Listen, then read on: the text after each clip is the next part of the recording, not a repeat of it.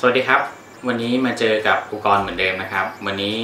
ครูกรจะมาสอนวิชาศิลปะนักเรียนชั้นประถมศึกษาปีที่4นะครับต่อเนื่องจากสัปดาห์ที่แล้ว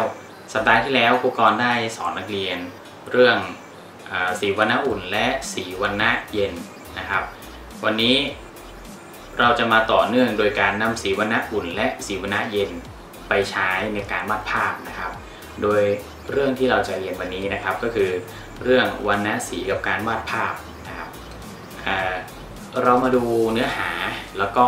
ความหมายต่างๆนะครับวรรณสีกับการวาดภาพวรรณสีสามารถนำไปใช้ในการวาดภาพได้ โดยเฉพาะหากต้องการสื่อความหมายต่างๆ ให้ผู้ชมเกิดอารมณ์ความรู้สึกตามจินตนาการที่ผู้วาดต้องการนะครับ ต่อมานะครับครูกรก็จะมีตัวอย่างให้นักเรียนดู ภาพที่ปรากฏตรงนี้ก็จะเป็นภาพวาดทะเลทรายนะครับ ภาพวาดทะเลทรายมักใช้สีแดงเหลือง สีส้ม เพื่อสื่อความรู้สึกว่าบรรยากาศภายในภาพร้อนอุแห้งแล้งนะครับ ก็นักเรียนดูจากตัวภาพเลยนะครับ ภาพก็คือจะเป็นสีวรรณะอุ่น หรือสีโทนร้อนทั้งหมดเลยไม่ว่าจะเป็น สีส้มเหลือง สีส้มนะครับ หรือถ้าเป็นตัวอย่างอื่นๆ ก็อาจจะเป็นสีส้มแดงที่มากกว่านี้นะครับ แต่โดยรวมก็เป็นสีวรรณะอุ่นนะครับ หรือสีทนร้อนนั่นเอง ตัวอย่างต่อมานะครับ ภาพวาดป่าเขามักใช้สีเขียว สีฟ้าเป็นส่วนใหญ่ เพื่อสื่อความรู้สึกว่าบรรยากาศภายในภาพนั้น มีความร่มเย็นชุ่มชื่น จากในภาพนะครับนักเรียนจะเห็นได้ว่าต้นไม้นะครับ จะมีใบไม้สีเขียว เขียวอ่อนเขียวเข้มนะครับ มีทุ่งหญ้า มีท้องฟ้า มีแม่น้ำนะครับ ก็จะเป็นสีเขียวสีฟ้าส่วนมากนะครับ ก็จะให้ความรู้สึกที่ร่มเย็นชุ่มชื่นนะครับ นี่คือลักษณะการนำเอาสีไม่ว่าจะเป็นวันหน้าร้อนหรือวันหน้าเย็นนะครับ มาใช้ในการวาดภาพนะครับ ต่อมานะครับ หลักการวาดภาพโดยใช้วรรณสีอะเราจะมาดูนะครับว่ามันมีหลักการใช้ยังไง ข้อหนึ่งนะครับ ต้องดูว่าภาพที่วาดนั้นเป็นภาพอะไร และต้องการสื่อถึงความหมายหรืออารมณ์อย่างไร เช่น ภาพทะเลทราย หรือภาพความแห้งแล้ง ต้องใช้โทนสีร้อนเพื่อให้คนชม ได้เกิดความรู้สึกร้อนนะครับ อันนี้ก็คือข้อหนึ่งเนี่ยเขาบอกเลยว่าให้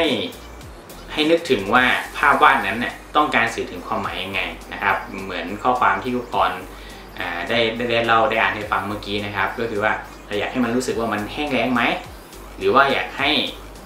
มีความชุ่มชื้นหรือเปล่าในภาพนั้นนะครับสองการวาดภาพโทนสีร้อนหรือสีเย็นนะครับควรคำนึงถึงหลักความเป็นจริง โดยเฉพาะการวาดภาพธรรมชาติ และสิ่งแวดล้อมควรลงสีให้ถูกต้องตามความเป็นจริงอ่าข้อนี้สำคัญเลยนะครับ ไม่ว่าเราจะใช้สีวรรณะร้อนหรือเย็นเนี่ยเราควรลงให้ถูกต้อง ตามความเป็นจริง เช่น นักเรียนไปเที่ยวป่าเที่ยวน้ำตกนะครับ มีความชุ่มชื้นในภาพ ภาพโดยส่วนมากก็จะเป็นสีเขียวนะครับ มีท้องฟ้าสีฟ้าสดใสก็จะเป็นสีในลักษณะของสีวรรณะเย็น หรือสีโทนเย็นนั่นเองนะครับ แต่ถ้าเรียนไปเที่ยวที่ที่มันแห้งแล้งนะครับ หรือในฤดูแล้งนักเรียนไปสวนนะครับ อาจจะเห็นดินแตกระแหง เห็นต้นไม้ที่มันผลัดใบมีสีเป็นสีน้ำตาล สีส้มนะครับ บวกกับบรรยากาศตอนเย็นๆที่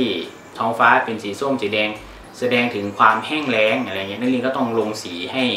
ตรงตามกับความเป็นจริง เพื่อจะได้เกิดความสมจริงนะครับ ไม่ใช่ว่าบรรยากาศดินแตกระแหง ท้องฟ้าเป็นสีส้มทุกอย่างแห้งแล้งหมดเลยต้นไม้เขียว อันนี้ก็ไม่ใช่นะครับ ก็มันก็จะขัดแย้งกันในภาพนะครับ ก็จะ ความเหมือนจริง ขาดความเป็นธรรมชาติไปนะครับครับ หลังจากที่เราได้เรียนรู้จากวิดีโอที่คุณครูกรสอน สื่อภาพวาดต่างๆ หรือตัวอย่างต่างๆ ที่ครูกรเตรียมมาให้ ก็มาถึงภาระงานในสัปดาห์นี้ว่าเราต้องทำงานอะไรบ้างนะครับภาระงานในสัปดาห์นี้นะครับ สร้างสรรค์งานศิลปะโดยใช้หลักการวาดภาพ โดยใช้วรรณสี ใช้วรรณสีอะไรนะครับ ก็ใช้วรรณสีร้อนและสีเย็นนั่นเองนะครับ การทำงานนะครับให้นักเรียนดูตัวอย่างภาพนะครับด้านหลังครูกรนะครับ ที่ขึ้นเป็นภาพให้ดูนะครับก็จะมีหัวกระดาษนะครับ ขึ้นเป็นว่ารายเป็นวิชาศิลปะ เรื่องวันณะสีกับการวาดภาพ หลังจากนั้นนักเรียนก็เขียนชื่อนะครับชั้นตัวเองอยู่ป .4 ทับอะไร เลขที่เราเลขที่เท่าไหร่ โรงเรียนของเราชื่อโรงเรียนอะไรนะครับอ่าทีนี้ครูกรจะทำการเปิดภาพเต็มให้นักเรียนดูนะครับอะภาพเต็มนะครับ คือการทำงานเนี้ยครูกรแนะนำว่าให้ทำเป็นแนวตั้งนะครับ ก็คือกระดาษหนึ่งแผ่นนะครับ เราจะขีดตีกรอบให้เป็นแนวตั้งนะครับ แล้วส่วนส่วนบนส่วนบนเราจะทำการเขียนชื่อวิชา ชื่อเรื่องชื่อของเราเองชั้นเลขที่แล้วก็โรงเรียน หลังจากเสร็จตรงนั้นแล้วเราก็ทำการตีกรอบแบ่งออกเป็น 2 ช่อง โดยข้างบนนะครับครูกรจะให้เป็นสีวันหน้าร้อนส่วนข้างล่างเป็นสีวันหน้าเย็นนะครับ จากในภาพนักเรียนจะเห็นว่าอ้าวแล้วมันต้นไม้ไม่มีใบนี่คืออะไรนะครับครูกรจะให้นักเรียนต่อเติม หรือเพิ่มเติมตามจินตนาการของนักเรียนเองนะครับ ก็คือครูกรมีต้นไม้ให้หนึ่งต้น เช่น สีวันหน้าร้อนนักเรียนอาจจะวาดเป็นทะเลทรายนะครับใบไม้แห้งเหี่ยว หรือเป็นไม่เป็นทะเลทรายก็เป็นพื้นดินที่แห้งแล้งแตกระแหงนะครับเป็นสีน้ำตาล สีส้ม สีอะไรต่างๆ ต้นไม้ก็ถ้ามันแห้งแล้งใบไม้มันก็ไม่มีมันก็ปิดใบ นักเรียนก็แต่งเติมตามจินตนาการตรงนั้นไป แล้วข้างล่างนะครับวันหน้าเย็น ถ้าเป็นวันหน้าเย็น แน่นอนว่าภาพมันต้องมีความชุ่มชื้นนะครับ เมื่อมีความชุ่มชื้นความอุดมสมบูรณ์ ก็จะมีพวก